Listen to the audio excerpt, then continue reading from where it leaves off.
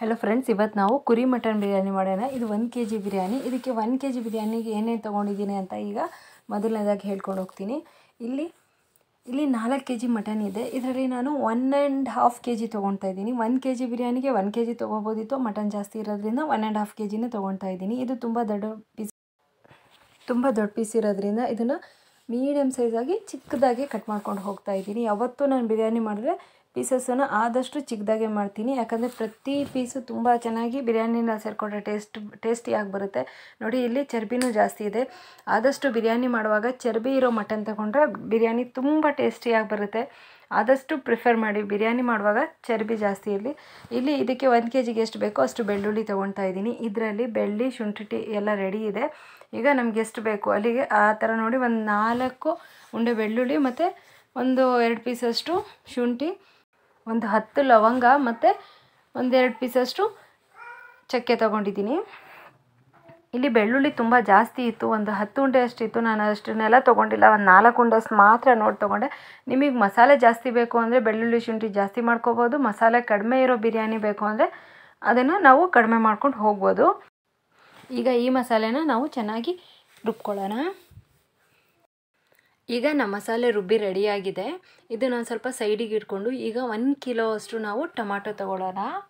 ನೋಡಿ, ಎಲ್ಲ ಫ್ರೆಶ್ ಆಗಿ ತೊಳೆದಿರೋಂಥ ಟೊಮಾಟೊ ಮತ್ತು ಒಂದು ಕೆ ಜಿಯಷ್ಟು ಈರುಳ್ಳಿ ತೊಗೊಳ್ಳೋಣ ಒಂದು ಕೆ ಜಿ ಬಿರಿಯಾನಿ ಮಾಡ್ತಿರೋದ್ರಿಂದ ಒಂದು ಕೆ ಜಿ ಈರುಳ್ಳಿ ತೊಗೊಂಡಿದ್ದೀನಿ.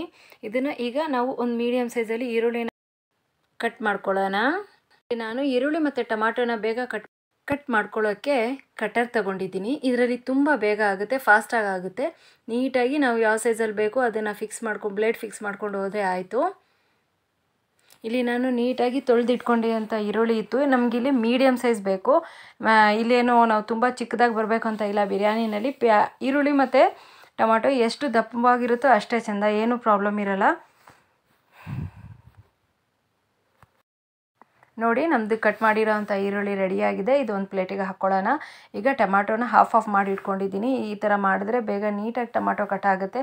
ಇಲ್ಲಿ ಮಿನಿಮಮ್ ಸೈಜೇ ಬಂತು. ಓಕೆ ಏನು ಪ್ರಾಬ್ಲಮ್ ಇರೋಲ್ಲ. ಮಸಾಲೆ ಚೆನ್ನಾಗಿ ಬೇರೆಯೋದ್ರಿಂದ ತುಂಬ ಟೇಸ್ಟಿಯಾಗಿ ಬರುತ್ತೆ. ಟೊಮಾಟೊ ಆದಷ್ಟು ಜ್ಯೂಸಿಯಾಗಿ ತೊಗೊಂಡ್ರೆ ಬಿರಿಯಾನಿ ತುಂಬ ಟೇಸ್ಟಿಯಾಗಿ ಬರುತ್ತೆ. ಇದು ಜ್ಯೂಸಿನೂ ಇದೆ ಮತ್ತು ಹುಳಿನೂ ಇದೆ. ಒನ್ ಕೆ ಜಿ ಅಷ್ಟು ಟೊಮಾಟೊ ನೋಡಿ, ನಾನು ಈ ಥರ ಕಟ್ ಮಾಡ್ಕೊಂಡು ಇಟ್ಕೊಂಡಿದ್ದೀನಿ ಒನ್ ಬೈ ಒನ್ನು ನೀಟಾಗಿ ಕಟ್ ಆಗ್ತಾ ಇದೆ. ಈ ಕಟರಲ್ಲಿ ಟೊಮ್ಯಾಟೊ ಕಟ್ ಮಾಡ್ಕೋಬೇಕು ಅಂದರೆ ಹಾಫ್ ಮಾಡ್ಕೊಂಡು ಇಟ್ಕೊಳ್ಳೇಬೇಕು. ಫುಲ್ ಹಾಕಿದ್ರೆ ಬೇಗ ಕಟ್ಟು ಆಗೋಲ್ಲ. ಮತ್ತು ನೀಟಾಗಿ ಶೇಪು ಬರೋಲ್ಲ. ಇಲ್ಲಿ ನೀಟಾಗಿ ಶೇಪ್ಸು ಬಂದಿದೆ, ಚೆನ್ನಾಗಿ ಕಟ್ಟು ಆಗಿದೆ. ತುಂಬ ನೀಟಾಗಿ ಒನ್ ಕೆ ಜಿಯಷ್ಟು ಬಿರಿಯಾನಿ ಟೊಮ್ಯಾಟೊ ಕಟ್ ಮಾಡಾಗಿದೆ ಈಗ ಇದಕ್ಕೆ ಎಲ್ಲ ಸಾಮಗ್ರಿಗಳು ನೋಡ್ಕೊಳ್ಳೋಣ. ಕಬಾಬ್ ಪೌಡ್ರ್ ರೆಡಿ ಇದೆ. ತೇಜು ಕಬಾಬ್ ಪೌಡ್ರ್ ಒಂದು ಸ್ಪೂನಷ್ಟು ಹಾಕ್ತೀನಿ. ಮಟನ್ ರೆಡಿ ಇದೆ. ಒನ್ ಆ್ಯಂಡ್ ಹಾಫ್ ಕೆ ಜಿಯಷ್ಟು ಮತ್ತು ವಿತ್ ಚರ್ಬಿ ಮಟನು. ನೋಡಿ ಎಷ್ಟೊಂದು ಚರ್ಬಿ ಇದೆ. ನೀಟಾಗಿ ಸಿಂಪಲ್ ಪೀಸಸ್ ಮಾಡ್ಕೊಂಡು ಇಟ್ಕೊಂಡಾಗಿದೆ.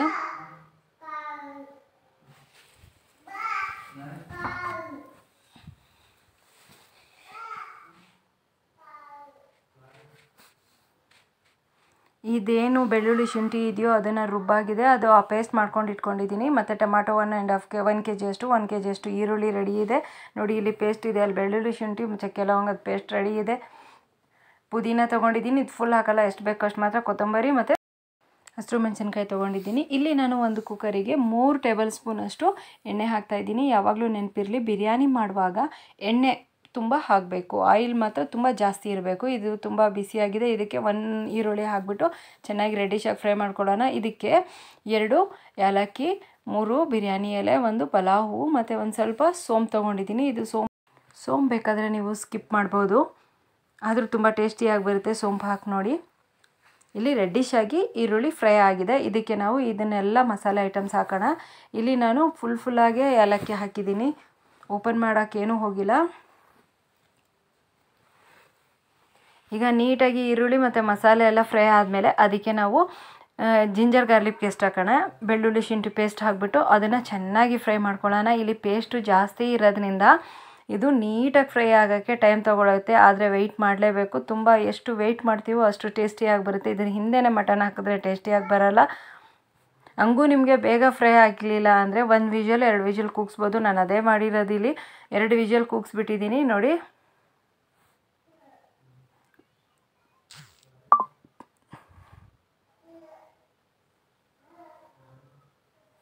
ಇಲ್ಲಿ ಗ್ರೀನ್ ಚಿಲ್ಲಿನ ಕಟ್ ಮಾಡ್ಕೊಂಡು ಇಟ್ಕೊಂಡಿದ್ದೀನಿ ಇಷ್ಟು ಗ್ರೀನ್ ಚಿಲ್ಲಿ ತೊಗೊಂಡಿದ್ದೀನಿ, ಕೊತ್ತಂಬರಿ ಪುದೀನಾನು ಎಷ್ಟು ಬೇಕೋ ಅಷ್ಟನ್ನು ತೊಗೊಂಡು ಇಟ್ಕೊಂಡಿದ್ದೀನಿ. ಕೊತ್ತಂಬರಿನ ದಪ್ಪ ಉದ್ದಾಗಿ ಕಟ್ ಮಾಡ್ಕೊಂಡು ಇಟ್ಕೊಂಡಿದ್ದೀನಿ. ನೋಡಿ ಒನ್ ಒಂದರಲ್ಲಿ ಎರಡೆರಡು ಭಾಗ ಮಾಡ್ಕೊಂಡು ಇಟ್ಕೊಂಡಿದ್ದೀನಿ ಹಸಿಮೆಣ್ಸಿನ್ಕಾಯಿನ. ನೀಟಾಗಿ ಮಸಾಲೆ ಫ್ರೈ ಆಗಿದೆ, ಅದಕ್ಕೆ ಇದನ್ನು ಹಾಕ್ತಾ ಇದ್ದೀನಿ. ಫಸ್ಟು ಗ್ರೀನ್ ಚಿಲ್ಲಿ ಹಾಕಿಬಿಟ್ಟು ಅಲ್ಲಿ ಉಪ್ಪಿದೆ. ಉಪ್ಪು ಜೊತೆ ಖಾರ ಸೇರಿಕೊಂಡ್ರೆ ಇನ್ನು ಮಸಾಲೆ ಟೇಸ್ಟಾಗಿ ಬರುತ್ತೆ. ಈಗ ಇದಕ್ಕೆ ಅರಿಶಿನ ಮತ್ತು ಉಪ್ಪು ರೆಡಿ ಮಾಡ್ಕೊತಾ ಇದ್ದೀನಿ. ಇಲ್ಲಿ ಮಟನ್ ಹಾಕೋಣ ಈಗ. ಮಟನ್ ಹಾಕಿಬಿಟ್ಟು ಮಸಾಲೆನಲ್ಲಿ ಚೆನ್ನಾಗಿ ಮಿಕ್ಸ್ ಮಾಡ್ಕೊಳ್ಳೋಣ. ನೋಡಿ ನಮ್ಮ ಮಟನ್ ಹಾಕಾಗಿದೆ ಮಟನ್ಗೆಲ್ಲ ಮಸಾಲೆ ಹತ್ಕೊಳ್ಳಿ. ಅಲ್ಲಿ ಮಸಾಲೆ ಫ್ರೈ ಮಾಡುವಾಗ, ಅಂದರೆ ನಾವು ನೀರು ಹಾಕಿರಲ್ವಲ್ಲ, ಅದರಿಂದ ಆ ಮಸಾಲೆ ಸೀದು ಹೋಗೋ ಚಾನ್ಸಸ್ ಇರುತ್ತೆ. ಈಗ ತಳ ಬಿಟ್ಕೋಬೇಕು, ಆ ಥರ ಇದರಲ್ಲಿರೋ ಮಟನ್ನಲ್ಲಿರೋ ನೀರಿನಂಶನೂ ಆಚೆ ಬರಬೇಕು. ಇದಕ್ಕೆ ಮಟನ್ ಹಾಕಿದ ತಕ್ಷಣವೇ ಅರಿಶಿನ ಮತ್ತು ಉಪ್ಪನ್ನು ಹಾಕಿಬಿಟ್ಟು ಚೆನ್ನಾಗಿ ಸೇರಿಸ್ಕೊಳ್ಳೋಣ. ಪ್ರತಿ ಪೀಸಸ್ಗೂ ಉಪ್ಪು ಸೇರಿದ್ರೆ ಟೇಸ್ಟು ತುಂಬ ಚೆನ್ನಾಗಿ ಬರುತ್ತೆ. ಇದನ್ನು ಮಿಸ್ ಮಾಡ್ದಲ್ಲೇ ಸೇರಿಸ್ತಾ ಇರೋಣ. ಮಟನ್ಗೆ ಉಪ್ಪು ಸೇರಿದ್ರೆ ತುಂಬ ಟೇಸ್ಟಿಯಾಗಿ ಬರುತ್ತೆ ಇದನ್ನು ಮಾತ್ರ ಫೈಯಿಂದ ಟೆನ್ ಮಿನಿಟ್ಸ್ವರೆಗೂ ಮಿಕ್ಸ್ ಮಾಡ್ತಾನೆ ಇರಬೇಕು. ನೋಡಿ, ಒಂದು ಸ್ಪೂನಷ್ಟು ರೆಡ್ ಚಿಲ್ಲಿ ಪೌಡ್ರ್ ತೊಗೊಂಡಿದ್ದೀನಿ. ಇದನ್ನು ಹಾಕ್ಬಿಟ್ಟು ಚೆನ್ನಾಗಿ ಮಿಕ್ಸ್ ಮಾಡ್ಕೊಡೋಣ. ತಳ ಸೀದಬಾರ್ದು ಆ ಥರ ನೋಡ್ಕೊಳ್ಳೋಣ ಆಲ್ರೆಡಿ ತಳ ಬಿಟ್ಟಿದೆ ಮಸಾಲೆ ಎಲ್ಲ. ಯಾಕಂದರೆ ನಾವು ವಿಜಲ್ ಕೂಗಿಸುವಾಗ ಮತ್ತೆ ಓಪನ್ ಮಾಡಿ ನೋಡೋಕ್ಕೆ ಹೋಗಲ್ಲ. ಈಗ ಕೊತ್ತಂಬರಿ ಸೊಪ್ಪು ದಬ್ದಾಗಿ ಕಟ್ ಮಾಡ್ಕೊಂಡಿರೋದನ್ನ ಹಾಕ್ತಾ ಇದ್ದೀನಿ. ಆಮೇಲೆ ಪುದೀನ ಹಾಕೋಣ. ಪುದೀನ ಹಾಕಾದ್ಮೇಲೆ ನಾವು ಈರುಳ್ಳಿ ಕಟ್ ಮಾಡ್ಕೊಂಡು ಇಟ್ಕೊಂಡಿದ್ವಲ್ಲ, ಅದನ್ನೆಲ್ಲ ಹಾಕೋಣ. ಒಂದು ಸ್ವಲ್ಪ ಒಂದಷ್ಟು ಈರುಳ್ಳಿ ಮಾತ್ರ ಸೈಡಿಗೆ ತೊಗೊಳ್ಳೋಣ. ಇನ್ನೊಂದು ಒಗ್ಗರಣೆ ರೆಡಿ ಮಾಡ್ಕೋಬೇಕು. ಆಮೇಲೆ ಇಲ್ಲಿ ಟೊಮಾಟೊ ನಾನು ಎಷ್ಟು ಕಟ್ ಮಾಡ್ಕೊಂಡಿದ್ನೋ, ಒಂದು ಕೆ ಜಿಯಷ್ಟು ನೀಟಾಗಿ ಅದನ್ನು ಫುಲ್ ಹಾಕೊಳ್ಳೋಣ. ಆಮೇಲೆ ಇದಕ್ಕೆ ಧನಿಯಾ ಪೌಡ್ರು, ಒಂದು ಸ್ಪೂನಷ್ಟು ಧನಿಯಾ, ಮತ್ತು ಒಂದು ಸ್ಪೂನಷ್ಟು ಕಬಾಬ್ ಪೌಡ್ರು, ಮತ್ತು ಒಂದು ಸ್ಪೂನಷ್ಟು ಕಸೂರಿ ಮೇಥಿ ಹಾಕ್ಕೊಳ್ಳೋಣ ಹಸಿ ಮೆಂತ್ಯ ಸೊಪ್ಪು ಸಿಕ್ಕಿದ್ರು ಅದನ್ನು ಅರ್ಧ ಕಟ್ಟಷ್ಟು ಹಾಕ್ಬೋದು. ಅದು ಸಿಗಲಿಲ್ಲ ಅಂದರೆ ಕಸೂರಿ ಮೆತ್ತಿ ಹೋಗಿ ಟೇಸ್ಟ್ ಪೌಡ್ರ್ ಹಾಕ್ಬೋದು. ನಾನಿಲ್ಲಿ ಸ್ಕಿಪ್ ಮಾಡಿದ್ದೀನಿ. ನೋಡಿ ಇದನ್ನು ಮೂರನ್ನು ಹಾಕ್ತಾಯಿದ್ದೀನಿ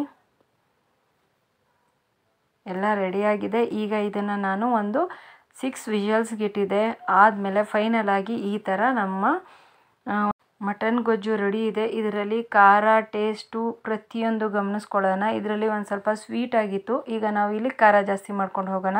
ಇಲ್ಲಿ ಒಂದು ದೊಡ್ಡ ತಪ್ಪಲಿನಲ್ಲಿ ಒಂದು ಆ್ಯಂಡ್ ಹಾಫ್ ಸ್ಪೂನಷ್ಟು ಎಣ್ಣೆ ಹಾಕಿದ್ದೀನಿ. ಒಂದು ಈರುಳ್ಳಿ ತೊಗೊಂಡಿದ್ದೀನಿ. ಇಲ್ಲಿ ಮೆಣಸಿನ್ಕಾಯಿ ಮತ್ತು ಬಿರಿಯಾನಿ ಎಲೆನ ಹಾಕ್ಬಿಟ್ಟು ಚೆನ್ನಾಗಿ ಫ್ರೈ ಮಾಡ್ಕೊಳ್ಳೋಣ. ಅದು ರೆಡ್ಡಿಶ್ ಆಗಲಿ ಈರುಳ್ಳಿ, ಇಲ್ಲಾಂದರೆ ಬಿರಿಯಾನಿ ಸ್ವೀಟಾಗಿ ಬರುತ್ತೆ. ಏಲಕ್ಕಿ ಅಲ್ಲೇ ಹಾಕಿದ್ರಿಂದ ಇಲ್ಲೇ ನಾನು ಹಾಕಕ್ಕೆ ಹೋಗ್ತಾ ಇಲ್ಲ. ಇಲ್ಲ ಇಲ್ಲಿ ಹಾಕಿದ್ರೆ ಅಲ್ಲ ಹಾಕೋದು ಬೇಕಾಗಿರಲಿಲ್ಲ. ಓಕೆ, ಈಗ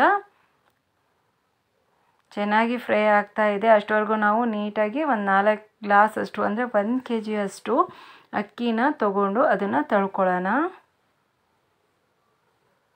ನೀಟಾಗಿ ತೊಳೆದ್ಬಿಟ್ಟು ತೊಳೆದಿಟ್ಕೊಳ್ಳೋಣ.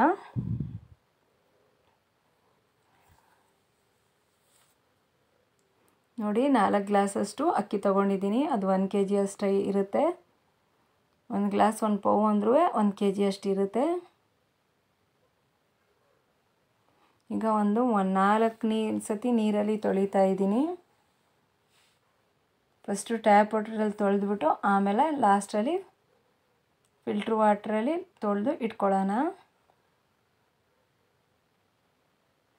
ಇಲ್ಲಿ ನಾವು ಹಾಕಿರೋ ಟೊಮಾಟೊ ತುಂಬ ಹುಳಿ ಇರೋದ್ರಿಂದ ಇಲ್ಲಿ ಸೌದ್ರನ್ ಕರ್ನಾಟಕದಲ್ಲಿ ತುಂಬ ಹುಳಿ ಇರುತ್ತೆ. ಅದರಿಂದ ನಾನು ನಿಂಬೆಹಣ್ಣು ಹಾಕಕ್ಕೆ ಹೋಗಿಲ್ಲ. ಇನ್ನು ಬೇರೆ ಸೈಡು ಟೊಮಾಟೊ ಹಾಕಿದ್ರೆ ಬಹುಶಃ ಒಂದೂವರೆ ಕೆ ಜಿ ಎರಡು ಕೆ ಜಿನೇ ಹಾಕಬೇಕಾಗಿತ್ತು. ಇಲ್ಲಿರೋ ಟೊಮಾಟೊ ತುಂಬ ಹುಳಿ ಇರ್ತವೆ. ಅದಕ್ಕೆ ತಕ್ಕನಾಗಿ ಬರುತ್ತೆ ಆ ಟೇಸ್ಟು. ಈಗ ಫಿಲ್ಟ್ರ್ ನೀರಲ್ಲಿ ಒಂದು ಸತಿ ತೊಳೆದ್ಬಿಟ್ಟು ಅಕ್ಕಿನ ನೀರು ಚೆನ್ನಾಗಿ ಬಸ್ಬಿಟ್ಟು ಇಟ್ಕೊಳ್ಳೋಣ. ಈಗ ನಮ್ಮ ಈರುಳ್ಳಿ ಫ್ರೈ ಆಗ್ತಾ ಇದೆ. ಈಗ ಇದಕ್ಕೆ ಒಂದು ಪಲಾವ್ ಹೂ ಹಾಕ್ತಾ ಇದ್ದೀನಿ. ನೋಡಿ, ಈರುಳ್ಳಿ ಎಷ್ಟು ನೀಟಾಗಿ ಫ್ರೈ ಆಗಿದೆ. ಈಗ ನಾಲ್ಕು ಗ್ಲಾಸ್ ಅಕ್ಕಿಗೆ ಎಂಟು ಗ್ಲಾಸ್ ನೀರು ಬೇಕು. ಆದರೆ ಅಲ್ಲ ಆದರೆ ಇಲ್ಲಿ ಬಿರಿಯಾನಿ ಇದರಲ್ಲೇ ಗೊಜ್ಜಲ್ಲೇ ಒಂದು ನಾಲ್ಕು ಗ್ಲಾಸಷ್ಟು ನೀರು ಇರೋದ್ರಿಂದ ನಾಲ್ಕು ಗ್ಲಾಸ್ ಮಾತ್ರ ನಾನು ನೀರು ಹಾಕಿದ್ದೀನಿ. ಜಾಸ್ತಿ ಹಾಕಿಲ್ಲ. ನೋಡಿ ನಮ್ಮ ನೀರು ಕುದೀತಾ ಇದೆ. ಆ ನೀರಿಗೆ ಕೊತ್ತಂಬರಿ, ಪುದೀನಾನು ಹಾಕಾಗಿದೆ. ಆಮೇಲೆ ಧನಿಯಾದ ಪೌಡ್ರು ಹಾಕಿದೆ, ಈಗ ನೀರು ತುಂಬ ಕುದಿಯುವಾಗ ಈಗ ನಾನು ಅಕ್ಕಿ ಹಾಕಿದ್ದೀನಿ. ಅಕ್ಕಿ ಹಾಕಿಬಿಟ್ಟು ಹಿಂದೆನೇ ಒಂದು ಸ್ವಲ್ಪ ಹೊತ್ತು ತಿರುಗಿಸೋಣ. ಯಾಕಂದರೆ ಅಕ್ಕಿ ಗಟ್ಟಿ ಇದ್ದಾಗ ತಿರುಗಿಸೋಣ, ಆಮೇಲೆ ತಿರುಗಿಸ್ಬಾರ್ದು. ಅಕ್ಕಿ ಈ ಥರ ಬಂದಿದೆ ನೋಡಿ, ಇನ್ನು ಅಕ್ಕಿ ಅಕ್ಕಿ ಥರನೇ ಇದೆ. ಈಗ ನಾವು ಈ ಗೊಜ್ಜನ್ನು ತೊಗೊಂಡೋಗಿ ಅದಕ್ಕೆ ಮೇಲೇ ಹಾಕೋಣ. ಮಿಕ್ಸ್ ಮಾಡೋದು ಬೇಡ, ಇನ್ನೂ ಮಿಕ್ಸ್ ಮಾಡ್ಕೋಬಾರ್ದು. ಮೇಲೇ ಇರಲಿ. ದಮ್ ಬಿರಿಯಾನಿ ಅಂತೀವಿ ಇದನ್ನು. ನೋಡಿ, ಮೇಲೆ ಹಾಕ್ಬಿಟ್ಟು ನೀರೆಲ್ಲ ಕೆಳಗಡೆ ಹೋಗಲಿ ಅಂತ ಸ್ಪೂನಲ್ಲಿ ಸ್ವ ಸ್ವಲ್ಪನೇ ಗ್ಯಾಪ್ ಕೊಡ್ತಾ ಇದ್ದೀನಿ.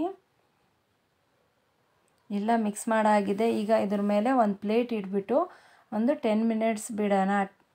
ಟೆನ್ ಮಿನಿಟ್ಸು ಆಗುತ್ತೆ. ಕೆಲವೊಂದು ಸತಿ ಈ ಅಕ್ಕಿ ಗಟ್ಟಿ ಇತ್ತಲ್ಲ, ಅದರಿಂದ ಒನ್ ಹವರು ಕುಂಬಳ್ಕೊಳ್ಳೋಕ್ಕೆ ಬಿಡ, ಬಿಡಬೇಕಾಗುತ್ತೆ.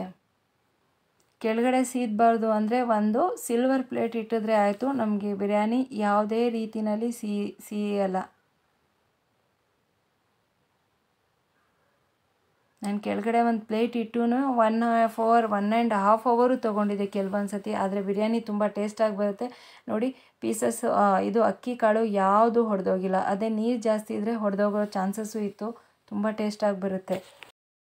ತಾಳ್ಮೆಯಿಂದ ಮಾಡಿದ್ರೆ ಬಿರಿಯಾನಿ ಮಾತ್ರ ತುಂಬ ಹೂನಂಗೆ ಬರುತ್ತೆ.